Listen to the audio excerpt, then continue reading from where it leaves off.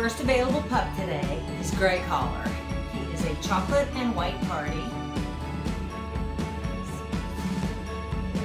Real pretty markings. There we go, and he's a boy. Our next available pup is Blue Collar. He is another one of the chocolate and whites.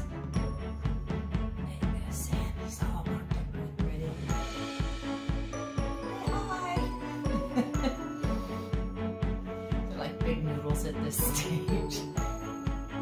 This is Black Collar, and he is my apricot and white tuxedo boy. See his white chest and his little and his little paws.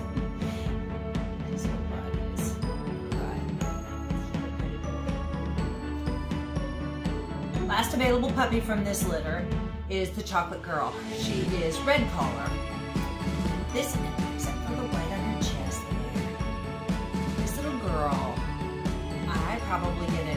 application or a phone call, email, something about her every single day. Just have not been able to find the right home